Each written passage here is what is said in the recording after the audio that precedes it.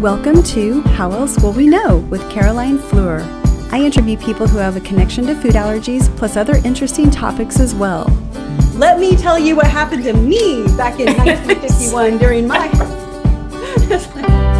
This show is meant for fun and to inspire thinking and curiosity. We are not giving legal or medical advice of any kind. Thanks for joining.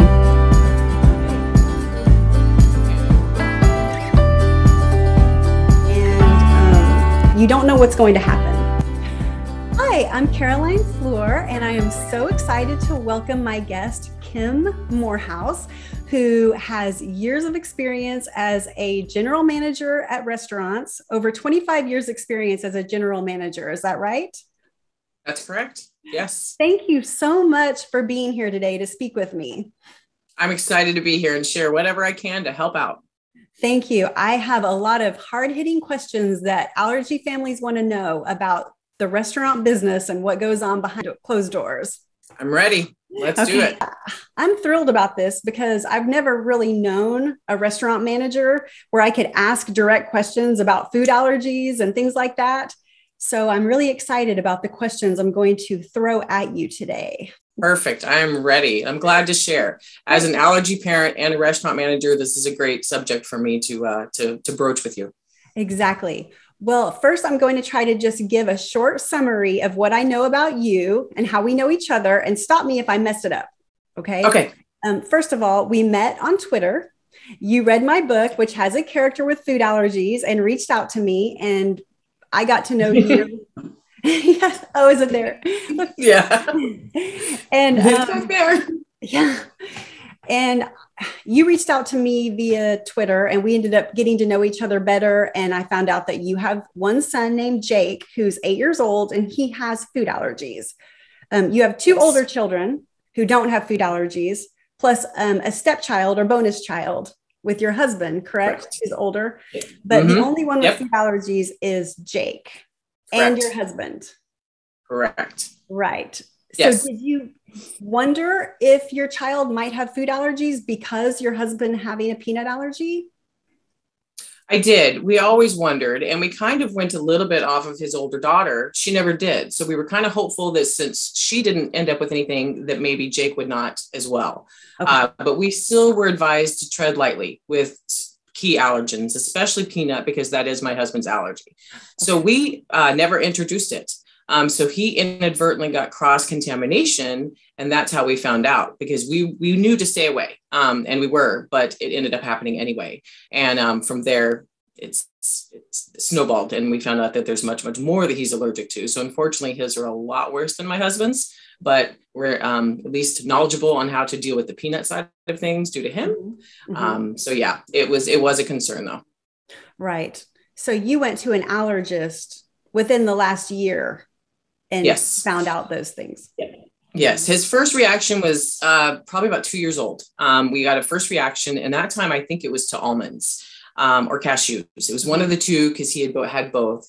And then uh, when we went in, he had just mild um, skin. He was having just some skin breakouts and really red around the face and some rashes. Mhm. Um, and so we Benadryl, you know, just kind of did those things, but did get him into the doctor to check. Uh, by the second reaction, this was a peanut exposure, and this one he his breathing got bad, so we ended up getting into the hospital with that. The third exposure for him was the one where we it was bad. His whole entire body broke out in red hives. His breathing was getting constricted, um, and we got him to the hospital. And they said one more of these, and it'll be anaphylactic for sure, and and that's bad but they said they sent us home at that point took us three visits before we got an epipen Mhm. um, and then saw our family doctor at which point she said he's still so young i don't want to test him yet because it's it could change because he's still not eating all the foods that are available so let's wait until at least after six before we have him tested Mhm. well with covid and everything going crazy getting into an allergist at six just didn't happen so we were finally able to get him in this year and, and get the full spectrum of what we're dealing with and um, knowing just how serious they are but he's allergic to a lot more than i ever thought he was and it's really changed the way we do things at home and eat out Right. That makes sense. Um, because it's one thing to know about it and think it's a possibility, but then when you experience it, and even with you like multiple times and different versions each time right? Like there's an exposure yeah. and a reaction and then an exposure and a different reaction. I mean it's totally different to see it in the real life. That brings us to you working in the restaurant industry as a general manager so i can imagine all of the things that you've seen in the last 25 plus years um, let's go back 25 years ago. Did you ever see food allergies come up at restaurants? Not as often, as surprisingly. You know, they were around. You knew people because I even had my husband who knew, but it mm-hmm. wasn't something that was ever really brought up. We managed it ourselves by looking at menus, just like, hey, that probably has peanut in it or this has in it. But there's so many other allergies besides peanut that people were concerned about, but yet no one really brought it up. So I feel like people were not eating out as much that had them back then because honestly, you just didn't know because mm-hmm. restaurants weren't equipped to tell you. Mm-hmm. Um, so it's definitely a different world now, but 25 years ago, absolutely not. It wasn't brought up very much at all. Occasionally, right. you would have someone came in and say, I have a severe, usually it was a nut allergy of some mm-hmm. sort. Mm-hmm. And does this have any nuts in it? You know, uh, but for the most part, no, it, it was very, very little attention called to it, either from the guest side or the restaurant side. Right, because back then even was when you were we were still getting peanuts on airplanes. It just wasn't as common of an issue. Right. And people just tended to not eat out. So, yeah. Fast forward to now, it's every day in a restaurant people having different allergies, a whole not just peanut, a whole bunch of different allergies happening. As a restaurant manager, general manager, is that the title or Yeah, so a general manager is just it's and I'm just basically and I have assistants under me and a kitchen manager under me and a chef under me. So I'm just the, the one that really oversees everything in the whole operation. So general manager is just fine. But you can just say GM. That's shorter and GM. easier. Okay. Can you walk us through what organizing a kitchen that is safe for different allergens looks like? Absolutely. The biggest thing is is making sure you can avoid cross contamination because that is the biggest fear of all. We can identify what the allergens are we can make sure that they're in their own place but the real reality in a kitchen is cross contamination and it's because the way the lines are set up there's they're they're picking food over other it's falling in and even in drawer space it's the same way mm-hmm. so in a real restaurant that's going to take care of this you're going to have completely separate areas that the food is covered and no potential cross contamination. Um, the labeling is huge. Uh, I can say 10 years ago, we would take product out of its boxes and containers and just put it in other containers. So we would lose that label of what was fully in a product if it was a pre-made product type thing. Mm-hmm, mm-hmm. Um, the best practice now is everything stays in its original container, so that if we need to reference that for guests, because there's there's allergies that pop up that aren't necessarily on the radar that people really need to know. Hey, is you know X Y Z in there, and it's not something we've looked for. We need to be able to reference that. So that is something that's changed as well in the in, in the industry to these days. So product remains in their original containers until they're brought to the line. At that point, they're in a container that is closed and in a separate area. Then, when it comes to actually preparing the food, you need to have an area again that can be sanitized or separate completely. Some restaurants are set up where they have that space and they can have a separate area completely for allergens, but mm-hmm. that's not the reality in most kitchens. Most kitchens are very small, they're very cramped, and it's difficult. So one of the companies I worked for did a really great job and they created an allergy kit. And in that kit, it was a it was a big suitcase, it's sealed up. And in that kit was everything you would possibly need to cook. There was a frying pan, there were utensils, there were knives, there were cutting boards, there was everything you could think under the sun that you would need to prepare a meal. But it was color coded. It was purple, which was different than any other color in the kitchen. Didn't have mm-hmm. purple anything, mm-hmm. and the um, it could be brought out when needed the area would be sanitized first, the kids then brought out, opened up, whatever you need is taken out, used. Um, the person that's doing the preparing, initially it was the manager. They didn't trust this to go on to a team member taking the care. Mm-hmm. Um, as the years went on, that changed a little bit because logistically it became really hard to always make sure you could pull a manager in the kitchen to stop everything in the middle of a dinner to prepare this. Mm-hmm. So the training got better on the team side of things. But at that point, they sanitize the entire area they're in, unless it's a separate area already. Um, they change their gloves and they always wear gloves with allergens. Okay. Um, wash up to their elbows, everything's clean and sanitized. Prepare the food. Mm-hmm. Once the food is prepared, it's never put like in the window with other food or it's never put on the tray with other food, at that point, mm-hmm. the manager needs to take control of that themselves, walk it directly to the table to avoid potential cross contamination at that point.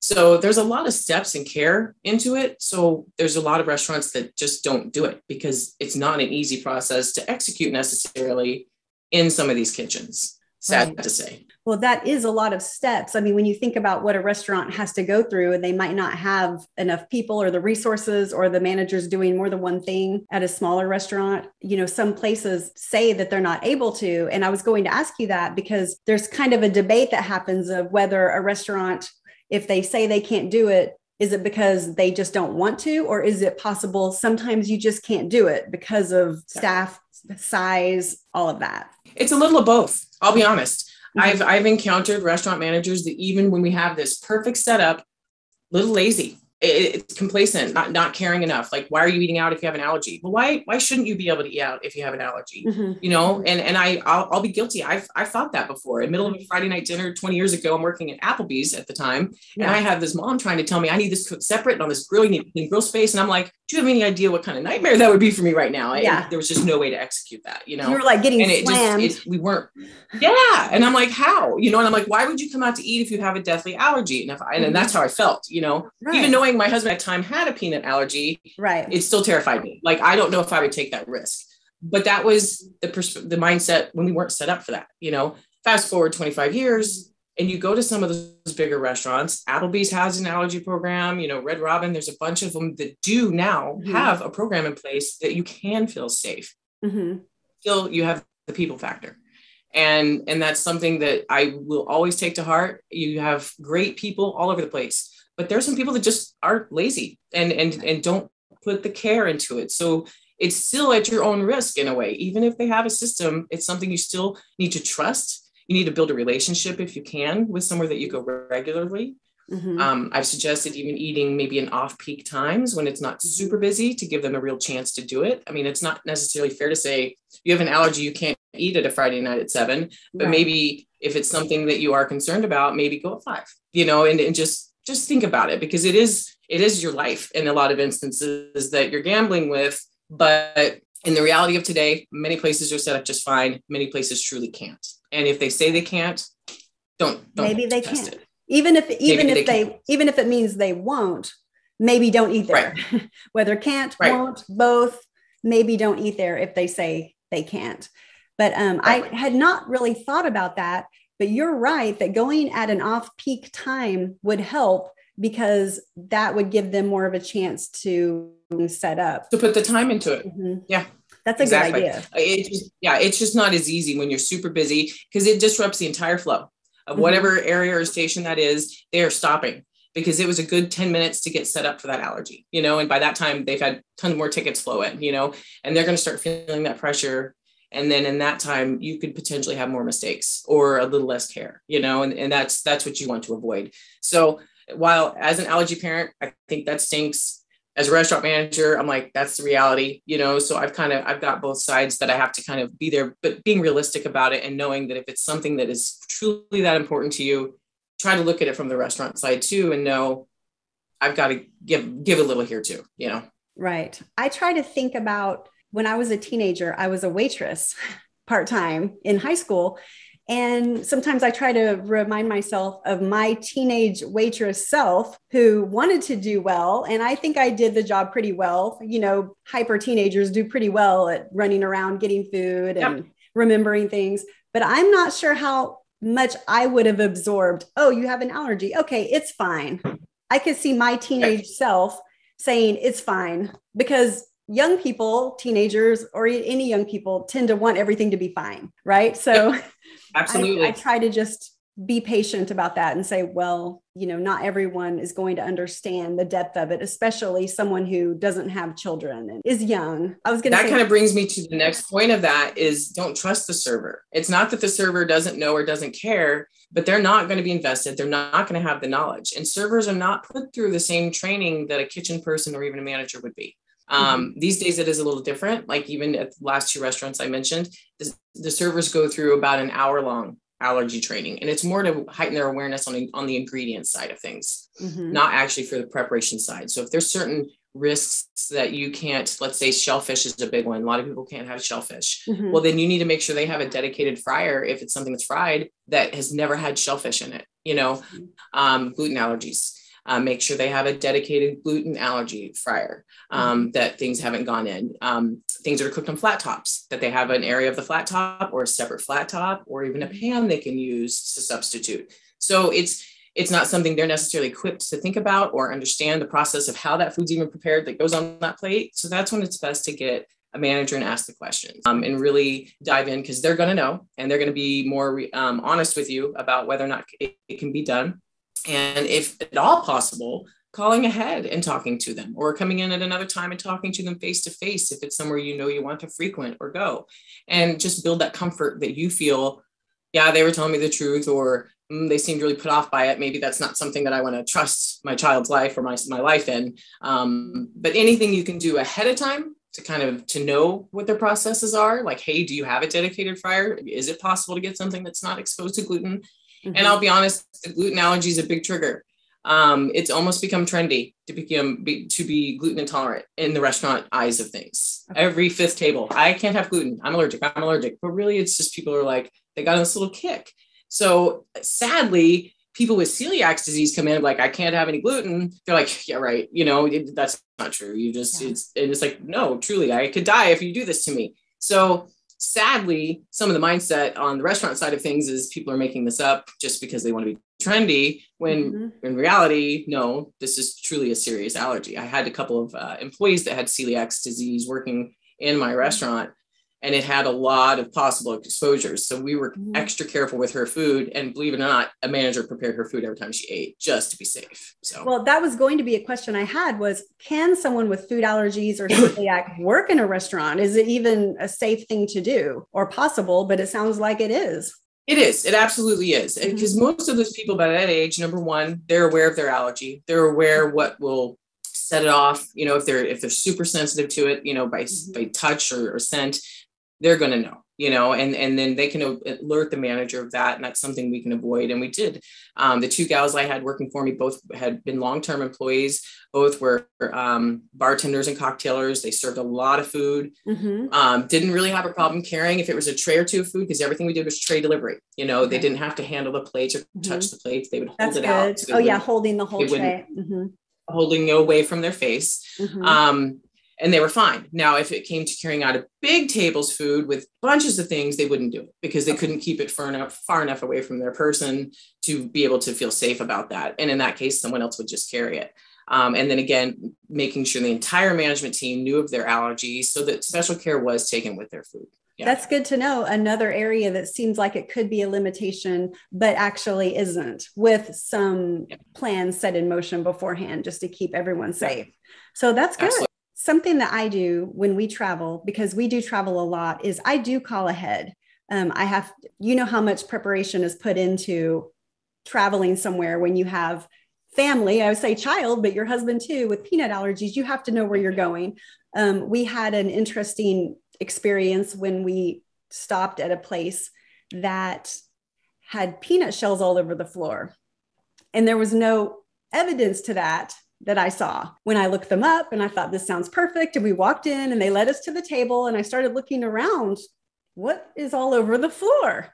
And it was peanut shells. And I told the waitress, My son's allergic to peanuts. We, we can't eat here. I'm so sorry. And she said, Well, I'll just wipe down your table. And I said, No, no, no. I turned to my son and she was just trying to help. And she was a lovely young girl. Yep. And she said, I'll just wipe down your table. I said, I turned to my son, Alex, and I said, Go. And he ran out the door. He was only about eight or nine years old. And I learned when you go on a trip, you better make sure you know where you're going. Don't just, I was look at the menu. I thought I had planned.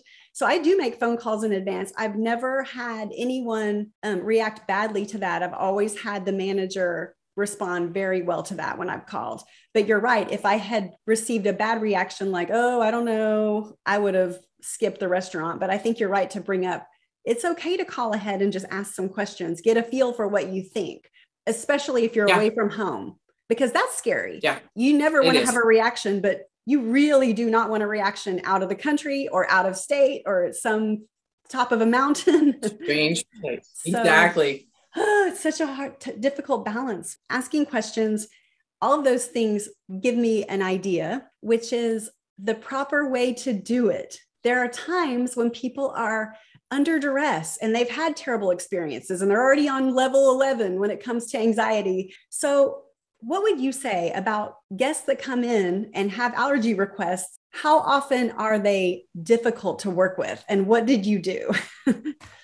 That's actually happened a few times. And, and being in the service industry and the restaurant industry daily, I deal with somebody that's off the charts. And, and it was hard for me sometimes when I was younger. I'm like, this is food. Why, why, why do I feel like I owe you my firstborn child over food? But when it, when it, comes to, I'm, I'm sorry your steak was overcooked. I'm so sorry. Uh, but when it comes to allergies, I understand the passion.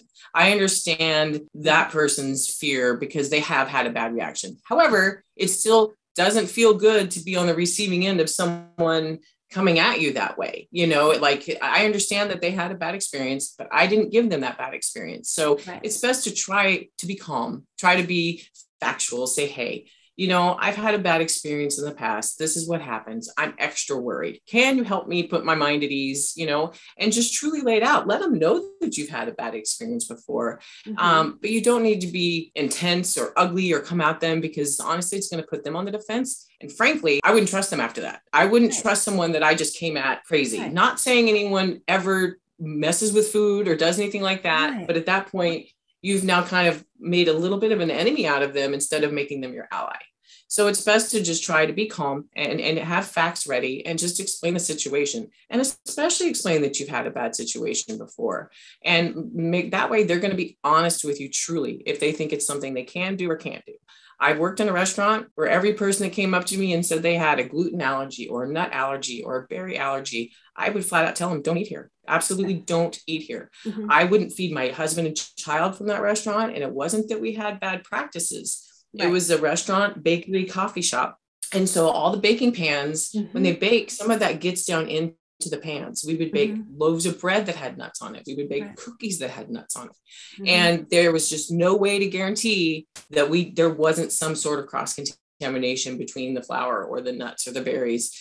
And I brought my husband and son home cookies, chocolate chip cookies, should have had nothing in them. Both of them had a reaction, you know, and it was just like, okay, from then on, I was like, I'm never bringing anything home from here because I know it's not safe in my heart of hearts. So any person that approached me that came in and was honest with me, I said, I'll be honest. I don't think it's a good idea for you to eat here. I can certainly do my best to make sure nothing has been cross contaminated, but I can't guarantee it. So being honest, get you an honest reaction you know, and you're going to get honest feedback from them. But if they truly say no or they don't think so, don't assume it's because they don't want to or it's lazy.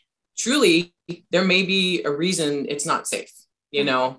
Um, you're going to get some that are lazy and don't want to deal with it as well. I mean, I'll be honest, it's it's the human factor you're dealing with, and not all humans are created the same. That's true it's hard for me to imagine what I would have thought if I had never been experienced with food allergies. It is such a different mindset. It is so life altering. It, it's just something that you almost can't understand unless it's touched your life somehow. And so I try to give some grace but if they won't do it for whatever reason, instead of getting angry, I think, okay, well, it's not safe. And that's the bottom line. This is business. I'm trying to make a business decision. Do I think the risk is worth the reward? I do not. The end. We leave. Right. Um, I'm not one to leave bad reviews or anything like that. I guess I'll say our bad review is leaving and not eating there. but sometimes there are places like um, very popular and delicious Chinese food places that my husband and I love I would never take my son there. There is no way in the world he could eat something without the risk of peanut contamination. Um, I've heard the same exactly. thing about certain certain Thai restaurants. Um, not all, but most. When you have a core ingredient, it would be like eating at an ice cream shop when you are anaphylactic to dairy if they don't right. have a designated section that they are strict. I mean, I wouldn't even consider it. My son, thank goodness, is not anaphylactic to dairy because that's in everything. That is, yeah. that's something that's hard for me to even understand. Like, how do you get through? Like, it's in medication, it's in everything. It's in everything. It's shocking. I have been at a restaurant with friends before, and someone I did not know well, who was a good person, there was nothing wrong with her. She said that she doesn't like tomatoes. So she just says she's allergic to them so that they won't put them in the food. And now, grown up me, who's learned to be more assertive in a very open way, you, to, you don't have to be ugly to be assertive and just share information. But there was a time at the beginning of all this food allergy stuff that I wasn't. I was more just stay quiet, don't talk about the food allergies, just try to lay low. But someone said, I'm, I say I'm allergic to tomatoes because I don't like them. And that way I know they won't put them in there. And I thought, how could you do that? You just you just can't imagine what it it's like to have an allergy. You would never yeah. want to say you have something you don't have. First of all, don't put that in the universe because people turn allergic to food every day now. Adults do. So I wouldn't put yeah. that out there if I were you. But yeah. please, karma's gonna get you. yes, I'm like, do not t- tempt karma. But but yep. don't do that. Do not do that. I mean, that hurt me to hear that because she's not allergic, right? So ugh, I don't know that happens a lot. And and and that is one of the on the server side that's where some of that irritation comes from. Yeah. With the gluten thing you know i can't i can't have that because i'm allergic to gluten but they're eating a burger you know with with a big bun on the top. And it's like if you're allergic to gluten why are you eating the burger? Mm-hmm. or the mm. tomato. I'm allergic to tomatoes but they're eating salsa you know and it's like no you're not you know so it, it the restaurant side they're not dumb i mean they're seeing this stuff so we understand. So unfortunately what it does is it it takes away from the true person that has an allergy and that's all it does. And I don't think you'll ever be able to take that out of the equation. I think there's always going to be people doing that. And I think that's why when you go in and you truly have an allergy, speaking to the manager and explaining it, you know, I've had people that have um, allergy cards printed up that say, hey, you can send this with a ticket to the chef that have it ready for people that have tons of allergies. Mm-hmm. Um, and it's something for them to keep and throw away. They have them ready to go in their wallet and they're like, here, this is my allergies, let's go. Um, so it's a good idea. Mm-hmm. It, it is a good idea, especially if you have multiple. And it's just a reminder. Say like, hey, you know, I can't have whatever it is. You know, really, one thing I can say, you're going to be safer going into the bigger restaurants than you are mm-hmm. the smaller mom and pops. Right. And that's simply because having a true allergen program and training is not cheap. It mm-hmm. is not a cheap process, and it's because there's a lot of turnover in restaurants. It's a mm-hmm. lot of, like you said, you did it when you were a student or younger. Mm-hmm. Um, you have a lot of college students, uh, non college educated people that, that mm-hmm. tend to move jobs a lot. So there's a lot of ongoing training that's constant. So, in order to have one of these programs, they need to have a pretty good training budget for it to keep it up. So, your smaller restaurants just simply aren't going to be able to afford to do that and have the program made. It, it, cost millions of dollars when they initially launched this program in the last company I worked for mm-hmm. and the ongoing training. The managers would go, we went through our first time, it was a two to three day um, big event that they took us to. And then after that, it's a full day training once a year. We would go in and just kind of keep up and keep refreshed. Mm-hmm. Whereas on the cook side, they had a day training initially. And then after that, it was like, your allergy training was about an hour long, you know, mm-hmm. w- upon orientation and before hitting the line. Mm-hmm. So it's, but it's there, you know, and they also have to have regular um, updates and, and to keep it up yearly as well but mm-hmm. not every state has these regulations and not every company has these regulations. It really depends on the state. And i'm so happy i live in washington state where we we have no bare hand contact to food. Everything has to be touched with a utensil or a glove. You go to other states they're touching that food you know? And so it's like you have to wonder about their safety and okay. their mindset in that way too yeah I so that's something that. else yeah that's important yeah and so that's a big one to me is to see how clean they are what what they're doing with the food and touching it because you have have to be mm-hmm. concerned about the cross contamination and just about the level of safety sanitation alone, period, um, that, that right. you're going to be getting. Just regular hygiene if they're touching food with their hands right after they maybe cleared a table. Right. And I will say, I want everyone to know this. This is one secret about peanuts I've learned, and you probably already know this living okay. in the South, but I didn't realize that peanut butter is a huge ingredient in enchilada sauce. It's used as a thickener. And most places don't list that. And my we eat lots of Mexican food, and I have come to find out that it wow. is in a ton of people of restaurants enchilada sauce as a thickener. I did not know that, but it makes sense. Yep. Okay, so enchiladas yep. can have peanut butter. You have to ask. That's I did not know that, and I will start sharing that. I didn't know because my son can't have enchiladas, so I didn't know. Oh, okay. but See, mine can, and so we go to have it, but mm-hmm. he can't. Okay. We, I figured that out with my husband. Okay, so. something um, living in Texas, which you used to live in Texas. Okay. Yep. So, um, yeah. because of Tex-Mex and a lot of foods have cumin in them in the food, I discovered, I learned that a lot of cumin, depending on where it's from, can have peanut flour in it as a filler that is not listed if it's from certain places out of the country. So I didn't know that. don't eat cumin at all for that reason because I'm not sure where it stands. It's hard to find out this information. I heard about it once or twice. That was enough. I decided that's huge. That's huge. Mm-hmm. Yeah, that's huge. I used, I use it at home, and I mm-hmm. there was a gosh, it's been probably two or three years since I stopped using it because I would use it to make our our meat. And my son, as soon as he started eating, I'm like, "You're having tacos." He's like, "I don't feel right," and that's probably what it was. Yeah. And they're not supposed to be doing that, but you can't really control sometimes what's happening far away in other countries if they're kind of thickening no, up their materials with peanut flour of all things. So we don't touch cumin for that reason. And I won't say no one should touch cumin, but just look into it. Since my son can't yeah. have most of the Tex Mex because of all of his food allergies, he has multiple food allergies and EOE. So he can't really have a lot of Tex Mex. I just decided we're cutting it. If he could, right. I would probably dig deeper to find out which yeah. one is safe. There's got to be safe ones. There are always a few safe things. Like there's a safe barbecue sauce, and there's a safe. We have like one product right. we have that's safe, and I could find it, but I just haven't done put the work in because I've invested it elsewhere. When you have multiple food allergies, yeah. you you have to pick it's a lot of work. we want. Mm-hmm. It is a lot of work. Right. That's exactly. why allergy parents are the most awesome. because we just have to keep agree. doing it all day long. I don't know about allergy yep. wives. Is that up in?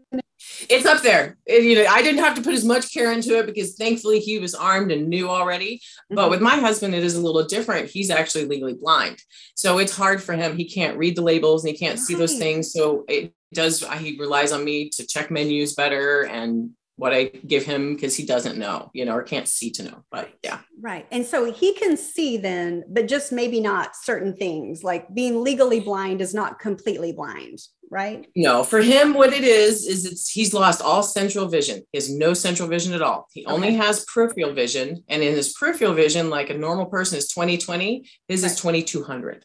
So he has to be like right up on something to see it and kind of look off. So detail is gone. He okay. can't read text of any sorts. So oh, yeah, it's difficult. Okay, interesting. Yeah. And did this happen after you got married, or was he legally blind when you started dating? It struck him at about 15 and got to where it was by the time we got together at 24. He was already to where he's at at 2200. He's about 2300 now, but he won't admit it. Um, so, so, you know, uh, but he was already that way. Wives know. Yeah. I do because I can see how he gets different closer to the TV or just different things. I'm like, it's gotten worse, you know, but he, mm-hmm. it's hard. But yeah, it's a genetic disorder. There's no correction, nothing helps. Um, so we have a lot of fun things to deal with in the house. So blind allergies, you know. But on the plus side, you don't always have to look like a 10 walking around the house. he yep. can just trust you. Like, I look great today, yep. babe. Okay, just know that. yeah, just know that. Yep. Because he has to be right up on me to see that detail. So I get to go without makeup quite often. yeah. Stay back if you we're good. see, I do too, but my husband's full aware of it. You're still in sweatpants and no makeup again. No, I'm not. Yeah. yes, you are. No, no. that's been my uniform for a while now. well, luckily, that's the lockdown uniform, and everyone's still wearing it. Like we don't care. We're we're mm-hmm. staying with it. So, have you ever had anyone react to food in a restaurant when you were at work and you had to deal with the reaction and what happened? Yes, um, I've had um, several times, both mild and severe, um, and both with people that knew they had an allergy and some mm-hmm. that didn't. Mm-hmm. So, because uh, as you said before, adults can develop an allergy or, or later in life that mm-hmm. they didn't have before. And so, mm-hmm. that's actually a pretty common occurrence. And the thing when it's one of those individuals is they're not necessarily sure what's happening. Um, so there's a lot of panic involved because mm-hmm. they haven't had to feel that before or whatever. True. Um, so in a couple of the instances, they were self-managed. They they they left. Generally, we'd always buy their food for them. Just and it wasn't that we were admitting guilt or that it was anything for us, but it was like you have enough to worry about. Go, you know. So mm-hmm. there was mm-hmm. never any worry about, about that. Um, if a manager was there, we're always required to deal um, with emergencies ourselves naturally. So a server would get us involved immediately. Um, and we would help and if needed call for 911 um, mm-hmm. a few times i think there's been two or three instances where EpiPens have been used, where it was a guest that knew what was going on and got some sort of cross contamination or an ingredient that they weren't aware was in something. And I can tell you that this was prior to that time frame of when we were leaving products in their packages for ingredients because mm-hmm. a server may say no there's definitely not any flour in that and not have any clue that there really is or, mm-hmm. or nuts because like you said, there's hidden ingredients in a lot of things, you know, mm-hmm. and so there has been a huge movement, not only in the restaurant world, but other packaging worlds to make sure things are properly labeled with everything that's truly in it. Mm-hmm. And it's so that restaurants can truly educate their guests on what is in everything that comes in because while we may make a lot of things from scratch there's a lot of stuff that comes in a restaurant that is pre-made or uh, you know an mm-hmm. ingredient that goes in that has other things so we need to be able to educate and tell the guests yeah there is eggs in this or there is dairy in this whereas mm-hmm. before we may not have known and so i haven't seen as many reactions in the last six years even seven years Good. as I did prior, mm-hmm. because the education is there, the awareness is there, um, the best practice is there to be able to leave those labels on so that we can go back. I don't know how many times in the middle of a Friday night you find me in the walk in climbing boxes to get a picture of a label to take to a guest so they can read everything that's on it, you know. Yeah. But I would do it, and I've done it, you know, and I'll do it again a hundred times. That's great. Really they can literally you know? see it with their own eyes. Yeah, mm-hmm. and because that makes them feel a lot better. Because because then those are generally are people you have found have had an issue before. You know, they're like, can I just see the label? Sure. You know, I've torn I've torn fronts off boxes knowing it's almost empty. We have another one and carried them out and said, okay, here you go. You know, and again, a manager will most likely be more than happy to do those things for you because we don't want to see you have a reaction. We want mm-hmm. to make sure you're safe mm-hmm. and healthy because it's right. terrifying to see that happen. And you and you you have a sense of responsibility that when they come in to eat there, they're gonna be safe. They're gonna they're gonna leave okay. They're gonna leave how they came in. Mm-hmm. Um, because it's not a fun feeling to go through and experience but most of them truly didn't even realize that had that had the bad reactions that they had the allergy. Um, the ones that had reactions that had the allergy were mild and they were prepared. So there was two really different feelings going on when that happened. But again, since those labels have come out and we've started to really educate people and our servers and our cooks on the seriousness of allergies, that's happened a lot less.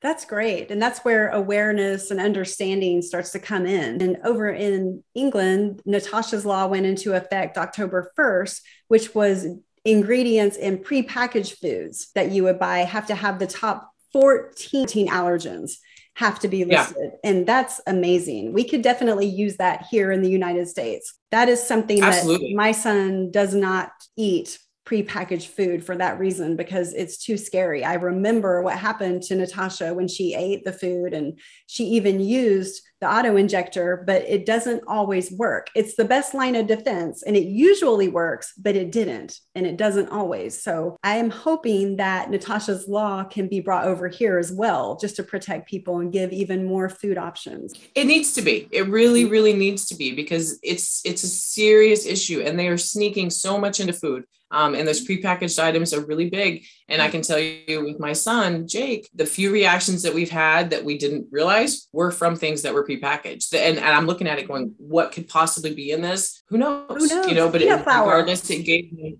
it could be you know you know and that's the thing you know you just you never know what could tr- truly be in it and they really need to do that um, just like they have on on the the big item packaging those those prepackaged items most definitely need to be to be marked clearly. And, Absolutely. And, and when I heard top 14 allergens, that would be huge because there are so That's many people huge. now allergic to so many different things that yeah. would cover a lot more people than just peanut and dairy and wheat, you know, the main ones. It just keeps getting to be more and more. I don't know where it's going to end. And I wonder why. I wonder why there's so more, mm-hmm. many people are allergic. I was never mm-hmm. allergic to anything in my life. Knock on wood. I mean, I it could change but mm-hmm. seeing now, like my son, I think he has God, what was it like 10 food allergies or more, you know, and and and dealing with that is is overwhelming. Um, but where does that come from? I mean, my husband has one, you know, and, and I have none. So why, where did this come from with him? And and I see that with so many other evidently you can be allergic to anything.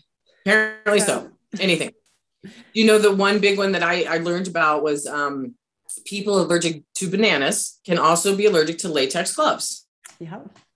So in restaurants, if they're using latex gloves, mm-hmm. then to prepare your food, then that could be a, a, trigger. And so that's something else that isn't always taught. That if you have that kind of an allergy, you could have a reaction to the latex gloves. And I'm sure the person with the allergy knows that, but someone else might be looking at you like you're crazy. Like, what do you mean? Why do I latex gloves? Sure, you know. So yes. anyway, that's neither here nor there. But it's it's just crazy to think all the things that you really do need to take into into account when you're going out to eat and absolutely. And i hadn't thought about that yeah. when going out to eat but i was aware of the banana latex connection only because when my son was little and we started learning he had all these when we finally figured out he had all these food allergies and that was basically what was causing all of his problems.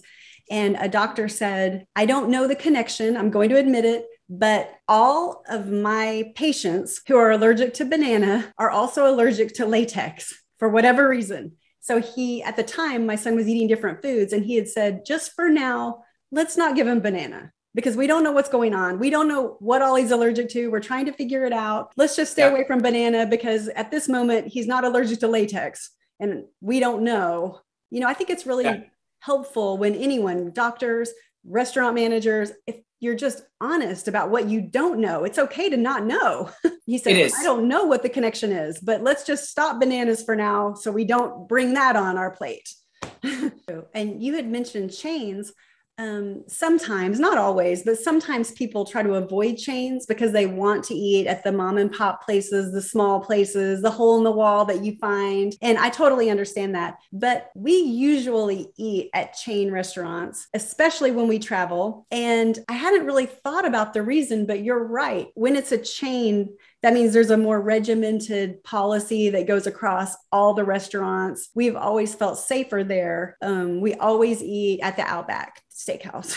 That's one my son loves. Yep. We they've been wonderful every time. Places like that, and we try to avoid the mom and pop places with my son. My husband and I go there though. Yeah, so they that, still get their attention, but yeah. that's why I hadn't really thought about the reason, but now I see that. Yeah. And there's a reason why we in, in the bigger restaurants, they not only have the money to do the allergy training, right. they have better checks and balances in place, but in those bigger restaurants, there's a thing called line check and that is completed multiple times a day it's usually created created um, first thing in the morning before mm-hmm. the restaurant gets open and goes to set up and that's literally going through checking that all your refrigeration is good everything's in good working order they have mm-hmm. all the safety sanitation your product is safely stored it's labeled properly the dates are good you know there's a there's a, a laundry list of hundreds of things that you're checking and that in chain restaurants is done three times a day minimum sometimes four and it's usually wow. done by mm-hmm. two managers at a time Mm-hmm. So that one is writing and the other one's checking. And they have a little cart that goes with them that has temperatures and test strips and it has, you know, gloves. It has everything you could imagine to do this. Smaller restaurants are not doing that. Mm-hmm. And they don't have the, it's it's time consuming. It's a big time. It's time consuming. A line check, a good line check takes an hour. And if you have two managers, now you've got two managers out of pocket for an hour doing this. However, any big restaurant chain you can think of does it. Okay. I I know them all. Really? And I and I people oh yeah, they they all do it. And so you're going to just naturally have better practices in place in those because they're held to that. If let's say you skip it and you have a restaurant that's not doing it on location, if they're caught with that, they lose their job. If the health department comes in and asks to see those, they're written up if they're not done. Um, we also have in those big chains Mm-hmm. Every one of them, we get our health inspections. Everybody gets a health inspection. Mm-hmm. However, mm-hmm. the big chains pay for an extra company to come in. It's either called EcoSure or um, SteriTech, and they are a serious, serious deep dive health inspection that goes about a hundred times deeper than any health department does. Mm-hmm. And those happen four times a year, unannounced. Wow! And you don't know when they're coming ever and they check everything, including your ice machines, your ice lines. I mean, they check under your equipment, your floor drains, they are checking it all. Um, health that everyone has their upstate health cards. Mm-hmm. And again, you fail one of those as a manager in your store, you lose your job. So there are big, serious things attached to that that make them keep those checks and balances and standards mm-hmm. up high.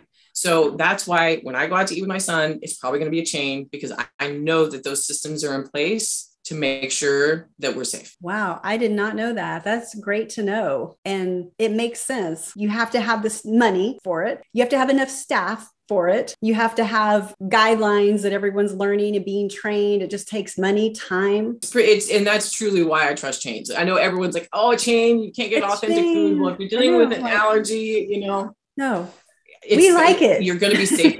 yeah, yeah, we yeah, you're going like to be safe. Yeah, and one of the scariest things, and I'll just share this as a restaurant side, um, ice machines. They are one of the biggest things that can give food poisoning and um, ice makers. So if you go places that are kind of sketchy, including your mom and pops, yeah. don't get ice in your drink. It's one of the biggest causes for food poisoning that there is. Really? Maybe because they don't have time to clean it out. The lines and yeah, it's it, they're a nightmare because we would actually have to dismantle our entire machine at least once a month to clean inside because it's cold water. It's called cold water mold, and most places do not dismantle those machines and do it. Okay. So again, my son's allergic to mold. So, as an allergy perspective, we avoid ice, um, but I don't in the bigger places because I know that's a part of their SteriTech or their EcoSure or their health department and their line check. So, right. there's four checks that are in place, knowing that that ice machine is getting detailed and cleaned as it should. Great, that's even better to know.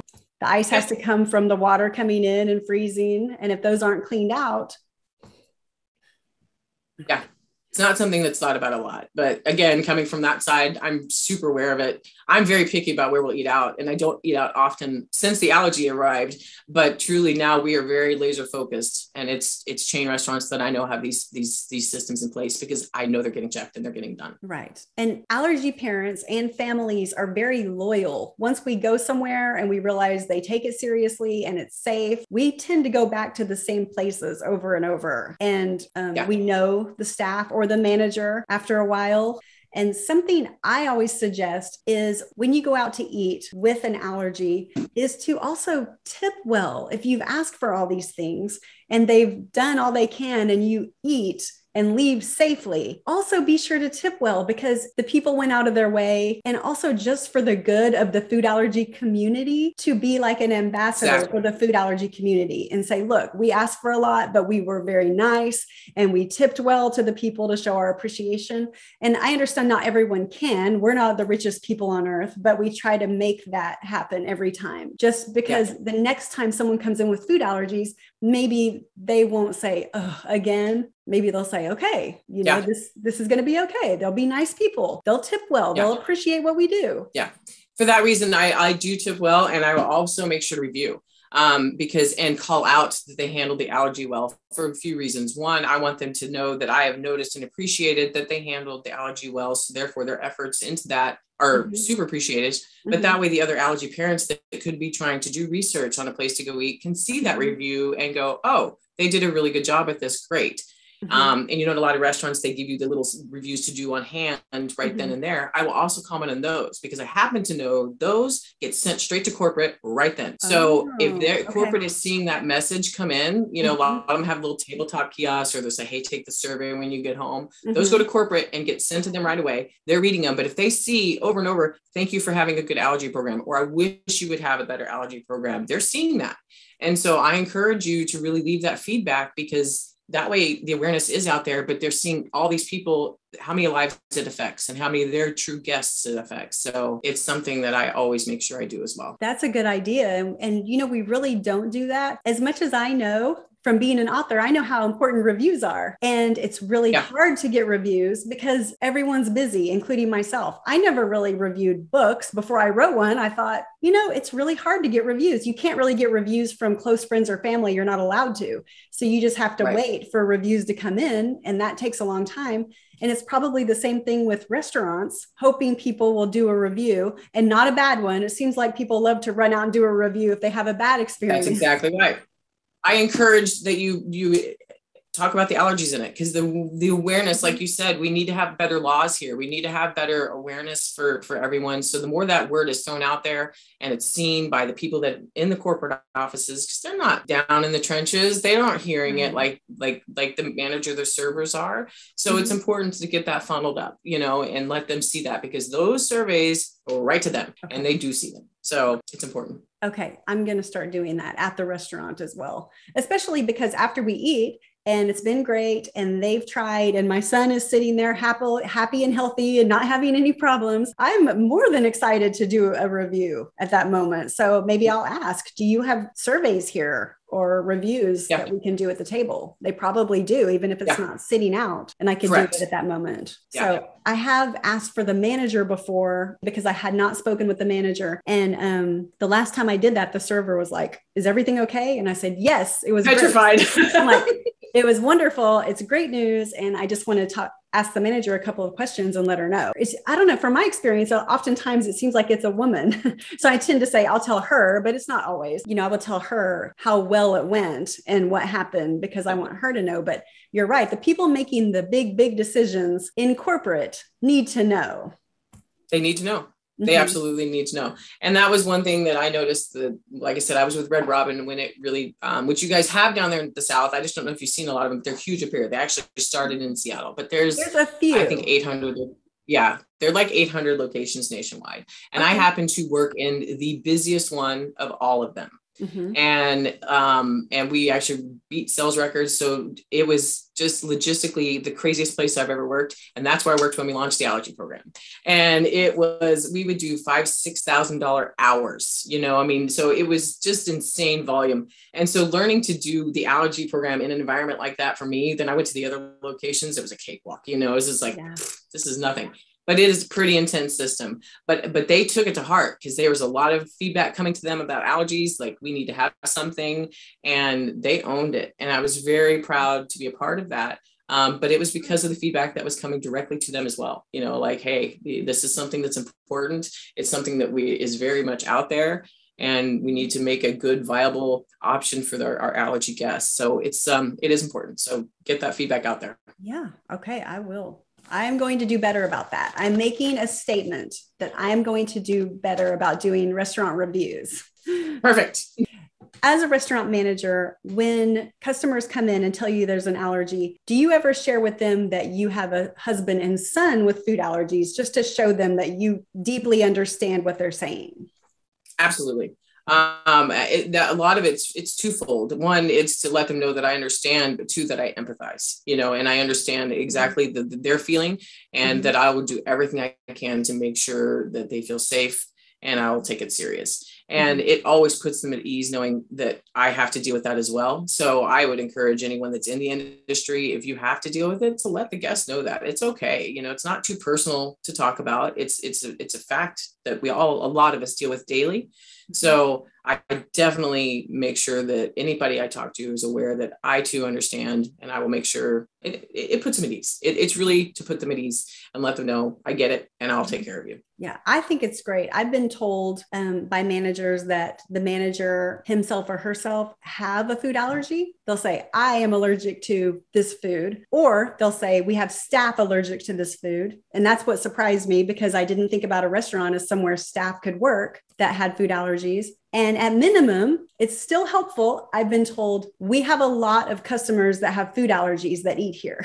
So I feel like yeah. there's different responses, even if it's not your you yourself or your immediate family member or the staff at the restaurant. Still, just saying people come in here all the time with food allergies. That helps. Everything yep. helps. it does because you know that they're they understand what they're doing, and if they have that repeat business, then they're mm-hmm. doing it well. You know, right. so um, I, you know that allergy plating is a different story. Sometimes they'll have even special plates and baskets or or um, wraps or plate, you know, whatever it may be, whatever kind of restaurant that are used specifically for allergies, so that you can you can kind of look around and see. I was sitting in a restaurant. It was right before COVID. I don't know what restaurant, mm-hmm. but I noticed my son got something delivered and his was different than I'd seen. It was first time we'd eaten there. And I kind of looked around and at that time I saw two or three other tables with a different color. So when the server came over, I asked, and they said, "Yeah, that's that's an allergy indicator." And that way, the managers, when they're walking around, can make sure they understand that's an allergy table, and they can stop and make sure everything's okay. So mm-hmm. seeing that kind of care, it, it totally makes you feel better from the guest perspective or the allergy perspective that you're in a place that does take it serious. Right, and that's so important to all of us. So, as a mother, as a wife to someone with food allergies, and a restaurant manager for years and years. What do you focus on with your child, with Jake? Um, like reading labels, because he's eight years old, he's not going to run off to a restaurant by himself like my son does, who is a junior in high school. yeah. It's different. But what are you focusing on now? So with Jake, he's known early that there was an issue, even before he was speaking clearly, because we had an early issue. We let him know right away, no nuts and how it really became for him was Halloween. It was the first Halloween that we approached mm-hmm. that he got all this candy and he wants to dive into it when he would get home, you know, and he's a little guy. And I said, no, we have to look for nuts. And so he's like, well, you know, what does that look like? So I wrote down the word, all the, all the nut words. I wrote nut and I wrote peanut and I wrote out everything. And he just kind of took that list and he compared it to all the candy and we went through it together slowly so he could know, oh, no Snickers, no Reese's, mm-hmm. no this, and put it to the side. So that's how it started. It has then morphed. The child memorized that list and he knew. So anything and everything from the time he was about two to three, I brought into the house. He was reading the label and letting me know. And I had things in my cabinets. He would pull things out that were already there and just to read them and be like, Did you know? And he's bringing me the label. And I'm like, I had no idea, you know? So he would catch things at a young age before he could even read that mm-hmm. he could do that. So fast forward to eight, and now us knowing all his allergies and being more um, aware of so many more than just nuts. He's still doing that. But mm-hmm. now he started school since then and he tells everyone he comes into contact with i'm allergic to peanuts i'm allergic to this so he's not afraid about talking about it mm-hmm. very aware he meets a new adult they're going to hang out with their kids i'm allergic to peanuts and he says it and he that's the one he tells them because that's the one that he's anaphylactic to that's the big um, one mm-hmm. that's the big one so um, but he will after you know some time he's very comfortable of letting anyone he's around know what is dangerous for him and i can't mm-hmm. have this mm-hmm. um, and so that's with school that's with new people he meets that's with family members mm-hmm. he um, he's very comfortable in all of it and he knows and he he catches me like i said to this day he'll still catch things that he's like oh, did you see this? Or or in the because peanuts is a big one may contain may it processed may in a plant may contain. yeah and so he's like i probably shouldn't have it. It may contain it you know? It may so contain it yeah. it may contain it. So he's so cute about really keeping it um keeping me in check but himself and he's super aware and comfortable with it and i'm so proud of him every day for just how serious. Yeah. um and we've since gone to the allergist. We're now starting the process of, of getting rid of his We're going to start the treatment and pray mm-hmm. that it works. Mm-hmm. Um, he's uh, got a ton of environmental allergies, almost as much or more than the food allergies. So we're mm-hmm. starting with those first. And the reason be- be- behind starting to tackle with the allergens, uh, the environmental, is because those can always be attacking you because he's allergic to dust and all those mm-hmm. things, pollen, all of it, grass trees, everything. Mm-hmm. So they want your body to not be fighting those when they start introducing and and um, dealing with food allergy part. Mm-hmm. So they want the system to be clean and fresh and healthy, not fighting anything. So we have started on those, and he gets in four injections a week. So he goes on Tuesdays and Fridays and gets two injections mm-hmm. Tuesdays and Fridays, every Tuesday and Friday. And we started this out. He hated needles, he hated shots, and it just broke my little heart. It broke my heart to see him but now he marches in, he hops up in the chair, he rolls up his sleeves, he does his little Superman arms, he's like, give it to me, and he sits there and waits. And I'm so proud of how much he's he's just owns it. And he's so excited, but he's excited now then to get to the food side because he's sad. He has he's had meltdowns when we come home from a Halloween, you know, now, and 90% of his mm. candy is nut laden, you know, has nuts in it and everything else. He's like, I can't have it. So we've started buying candy that he can have, and mm-hmm. we do a candy trade when we get home. I take all of the peanut stuff. I get to eat it because I adore peanuts and I don't bring anything in the house because they don't. Yeah. so I'll sneak those and put them in my hidey place and we'll do a, a candy exchange. But nonetheless, it's um, you just find way around it. But, but educating your child, letting them be a part of it. You've sent me some great articles that I've sat down and read with him to just say, I've never thought about the potential of contamination this way. Let's read this mm-hmm. together and it opens great dialogue. He asks questions he's not afraid to ask. Mm-hmm. And it's just really about keeping him comfortable with it, keeping your kids comfortable. And, and, they will be, they're resilient. You know, it's sad that they have to deal with it, but they don't know any different. That's their life.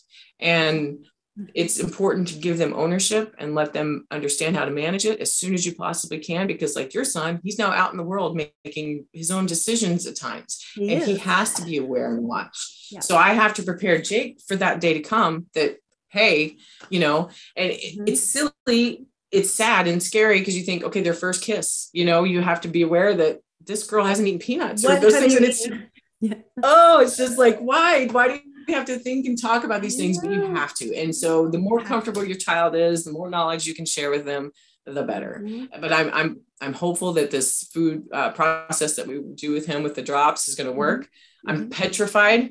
I'm scared to get to that stage. Um, I really am because I know what it looks like for him to have a peanut, and I'm scared to have for him to start that 1st mm-hmm. drop. I mean, it started out as a minute amount, but I'm I'm scared. I'm truly scared. But I hope that it takes the going through this will take that fear or threat of anaphylactic away so that he can live a healthy life you know and, and i wish that more people could go through it but they're making great leaps and bounds and strides in research because mm-hmm. allergies are becoming so much more prevalent in society today. The allergists um, and, and doctors and researchers are trying hard to really come up with ways to help people because it, it's hard to live a life that way and it's not easy but it's as mm-hmm. it's something that that unfortunately is there but mm-hmm. i'm so thankful my little guy is so comfortable with it and and does his part to really you know keep himself safe because it's important and i and i trust that he will even when he's not with me yeah. yeah i think he will i mean that's the whole idea is raising them for the present but also with the end point in mind of independence and you know when they're younger it requires all of your attention to make sure everything they i mean they would eat poison if you handed it to them. They're so trusting. But as they get older and start taking over um, mistakes can be made by the mother i learned. Because like you said jake's corrected you. There were times one time i put a shampoo in the basket like a goofball not reading the shampoo. I thought this looks good. I told him let's try this and he picked it up and said, Mom, this is made with almonds. I said, What? And sure enough, just in small writing at the bottom, it said, With almonds. I was like, What? And I was like, Okay. Just, it just See? takes you back a step. Like, you can never let your guard down ever. And thank goodness he was paying attention because I missed yeah. that. Oh, yeah it's true and that's why you know you can't you can't take it all on as young as they are teach them teach them teach mm-hmm. them because everything they're can. gonna own it. Everything you can you know and it's and at first like i said i felt bad. I felt like i was burdening him. I felt like you know this is a mm-hmm. lot for a little person to carry. But he he says it. He's like if i get it i die and i don't want to die yet. And he'll say that. And but hearing your child say something like that it's you shouldn't have to as a parent. It's like i'm sorry you have to even think about that. But he's like it's my life you know it's my life and, and i don't want to die. And so while it's super sad to hear him say that i'm super thankful that he understands the gravity and the seriousness of it to know that we're not joking you know this no, is something that's super serious, serious for him. And and and unfortunately it's sad because he looks at me and he's like i want to try peanut butter you know? And i'm like i'm sorry you know? But he's like it's okay i'd rather live. Yeah. so living would be better. It's okay. Um but it's it's sad that he feels that way, but at the same time, like I said, he owns it and just it makes me feel good that he he truly takes it serious. And and it's I know that's because we've really talked about it with him and let him know everything we possibly can on the subject. So right. That's that's what we have to do. That there's no way around it. And i did explain it to my son and i still do to other people. Just consider it a condition or an illness. People have diabetes. They have things that cause them to have to work around what the rest of the world just does without thinking. This is one of those things. I told him, this is your thing. but the good news is, yep. we know what it is. so exactly work around it. And because he has EOE, which is eosinophilic esophagitis, so good at saying that. That's word. a mouthful. yeah, that's why it's been shortened to EOE, but more and more kids are developing EOE. So I just say it's like when you have asthma, that's inflammation in your lungs. Well, EOE is just inflammation in your esophagus and it can be tied to food allergies. And he has that. So he can't take the oral treatment to try to Stop know, it. Get an intolerance yeah. to peanut, but I mean, get a tolerance to peanut. I'm sorry, to get an intolerance to peanut. He can't do it. But there are other things coming. So we're watching. There was the patch, which almost came out. It was so close. He was on the list for the patch, but then they pulled it back. So we have to assume something happened and they just want it to be safe. It has to be safe. It has to work. So we're waiting for that. Things coming. So we just have to stay hopeful. But the good news is it can be avoided. These allergens can yeah. be avoided. And that's what we're doing right now. So yeah, it's working. Exactly. It's scary. Everything's scary. scary. though. You said you're yeah. scared about the treatment, you know, because it's just nervous to do it. It's scary to let your child get in their car and drive away to go meet friends. That's scary, but it's also scary it to have them at home not seeing friends or to not try a treatment your doctor recommends. That's scary too. Everything's putting scary. him in a bubble. yeah. Yeah. Because I I don't want him not to live life. I want him to live his life as much as he can. But the reality is we have to take that extra factor in account, you know, because it's not a joke. It's something right. that truly could end their life. And mm-hmm. you can't gamble with that. So um as much as I, I know there's there's things, there's birthday parties I've kept him from that that I knew I have to. Unfortunately, Sometimes probably weren't going to be safe. Mm-hmm. You have to, and and it's a tough choice to make. But you know what? You can find something, some way to make it up to them, and that's what you, we need to do. Is, is remember they are missing out. So try to make sure you give them other things, you know, and, and take them on other adventures or, or whatever it is they're missing because they don't deserve that, you know, no. and, and it's sad for them, but they, they're, like I said, they're resilient and they understand Mm-hmm. But it's it's if you talk to them about it. You can't just be like, nope, you're not going. Uh, right. Just, you know, no. You, you need know, a you replacement really need sure activity. Like we did the same yeah, thing as exactly. you. We would switch out his candy. He would trade it for what he wanted. And he loved that. And then it turned into he asked for, can he just trade all of his candy?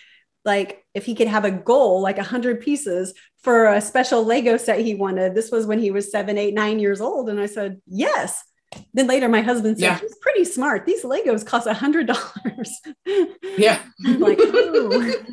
they know. Yep. Yeah. So absolutely, but Halloween was always so hard, and it still is. You know, because he sees all this great candy. He's like, why do so many people give nuts? And, that, and that's another thing I wish people giving out candy would realize is about the allergies is to maybe have an option, two options, you know, and or, or not be so nut heavy because it's nuts are a big allergen among people of all different kinds. And unfortunately, Absolutely. Jake's allergic to everything except for pecans, I think. But I wouldn't even try a pecan at this point because he's allergic to every other nut. Why wouldn't it be that one too? You know, right? Um, and so they're a big time allergen among people. So it, it's it's kind of sad that that's given out because truly last year when we when or the year before uh, before covid 90% of his candy was something with nuts. And i'm like ah, it was it was shocking and i felt really bad. So mm-hmm.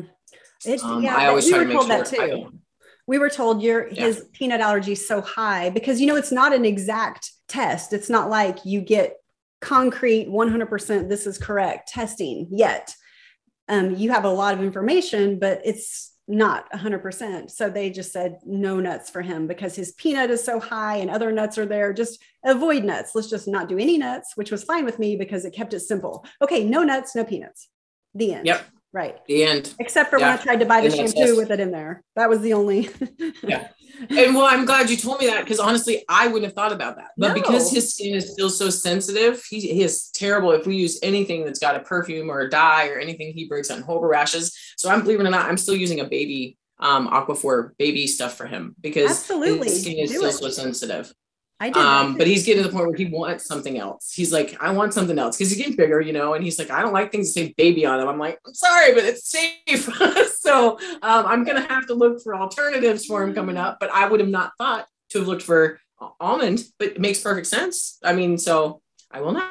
We went through that same issue with my son because the lotion I gave him was a baby lotion and it was pink. It had a baby on the front, but it had no fragrance, nothing. And then one day, maybe when he was eight or nine, he was like, I am not using this lotion anymore. And little did I know, at some point after that, he just stopped using lotion altogether. I guess men don't use very much lotion, and boys start getting older and realize, like, I don't yeah. use this and I'm not going to anymore. yep. yep. He clued in. He turns nine in January, but yeah, we had a big talk. It was even yesterday. I think he's like, I don't want to use this anymore. It has a picture of a baby on the front. like, So what am I supposed to do then? I'm like, so it works and it doesn't hurt your skin. So this is what we're sticking it's with. not helpful so, to say, but you're my baby. That Yeah, doesn't help. I know. I will tell you. no, it doesn't. No. And I, I'm guilty of that. Aside from the food allergies and restaurant manager job, your husband, I wanted to ask you about your own writing because you're part of the writing community on Twitter. So, Yes. what is your work in progress that you're working on right now? I've got a couple of things going. Um, one that I've been working on for a while that will be done first is is, is kind of a romance, and it's based a lot off of um, my own personal relationship with my husband and how we met, and kind of um, the struggles of getting our two lives meshed um, together. And I've told so many people the story, and the first thing they said is that needs to be a book because it's just it's um, kind of an amazing story. And uh, so I'll just give it real quick. Um, Yes. My husband and I met, I was 24, he was 24. Um, I was coming, I got married young. I had already been married. Um, I had two children from that marriage. I'd already been in the military, I'd been in the Navy at that point. I had already been a restaurant manager. So I had a lot going on in life. And Mhm. unfortunately, my first husband ended up cheating on me, um, and it was painful. It was it was awful. My neighbor I didn't even know was calling and telling me, "I don't know you, but your husband's here with a woman right now." Talk about humiliating. So it was terrible. So I'm coming out of it. It was horrible. It was horrible, and I, it, you know, we we we we cleanly broke, and it was just it was a it was a nice divorce though. So I will say that you know we didn't drag it out. However, I was a restaurant manager at this point at 24. I was already a GM. okay. And I, yeah, I was um, now going to be single mom of two kids that were one and three, and a restaurant manager GM. So carrying that weight, and I was, I was like, I can't. I'm going to crumble. It's too much to carry because being a GM is a lot of stress. I work Yes. 50 to 60 hours a week. I'm gone a lot. I just couldn't handle it. Mhm. So to be kind of evil, I decided to go get a job in a bar because I knew my ex-husband would hate that, and I just wanted to do it. And honestly, I wanted to get an environment where I could meet somebody and just go have fun because he'd been having fun and I hadn't had a lot of fun in a lot of years. And I, I my goal was Mhm. honestly just to go meet somebody and have fun. Nothing. Yeah. My very first night there, my very first table, I met my husband. We Look instantly clicked. We started talking and we never spent a day apart. It, it was just instant, instant. He asked me out that night. We went out, just fell in love. But then as we're dating, I'm realizing I'm, I, I'm all alone now in Washington. My entire family's in Texas. Mhm. I've got these two little boys. He didn't have any kids because his daughter was with her mother at the time. And I'm like, it's not fair. It's not fair for me to bring all this baggage to your life when you've Mhm. had he had a business he was running and everything. And I just I just felt guilty. I felt really guilty that I was bringing too much complication. So I I ended it. Okay. And and I said I, it's not fair. So I packed up everything I owned and moved back to Texas and left him here in Washington Mhm. within 24 hours, maybe 48, he was on the phone and said, I don't care. I want to be with you. And if that means I have to be in Texas, I will. He shut down his business, packed up all his belongings, and followed me to Texas. And we have been together ever since 24 years now. And it was just really interesting. But not long after, you know, we learned about his vision. And I always knew I'd be the only income. Um, then we got custody of his daughter. So that added another mouth to our Oh, okay. lives. So then we had all three kids. And that's why we didn't have any children of our own because I was the only income. We had a blind husband, three kids, and we're like, okay, we can't have a child together. Yeah. Um, it's just too much. It would be too much. Cost of living, just nuts. So once all the kids moved out, though, we looked at each other and like, want to have that kid? So Now what? that's where Jake came from. So we had a kid later in life after the other kids had already moved out. So my oldest one is 28 going on 29, and Jake is eight going on nine. So the 20 year difference between my oldest and yeah, youngest. that's funny. Uh, but it's it's a neat story. yeah, that's really neat. I'm excited about that. I would definitely read that. So yeah. So you said two and then the books. other book, Yeah. yeah, the other book is a leadership book um, about about being a, a good leader and really engaging your team and and being a good boss. And you know, being a boss you think has been the same, but all these generations are completely different to deal with. Mhm, Um, mhm. Generation X, True. millennials, now the Generation Z, they Mhm. all need different things. And being a good manager and knowing how to connect and make them feel valued and and lift them up and to retain them, there's a lot that goes into it. But um, I've worked with a lot of bad, bad leaders that truly just made your life not fun and you'd want to mm-hmm. leave. And most people in the restaurant industry quit because of a person, not the job. And so this was a really big call out to me because I have loyal people. I have people that whatever company I left would follow me mm-hmm. and people that would come. I had people that would come and drive 20 miles just to come work under me because of the environment that I created mm-hmm. and um, and maintained. So I think that just needs to be a big call to action on how you treat people and and and what it means to be a good boss and to truly get to know everyone. So my other book is about good solid leadership. So that sounds great too. Uh, yes, because so one is a fiction and one would be more nonfiction. Correct. Is, I mean, is the yeah. one that's based off of your husband and your relationship, but it'll be fiction. It'll be fiction. I'm right. going to add some more fun things to it because it's not all yes. that exciting. Um, but yeah, it'll just kind of be used. The, the, premise is being used essentially. Right. That's okay. That makes sense. I wrote a fiction book, but I used a lot of true things in that book it based is. on our yeah. life. Right.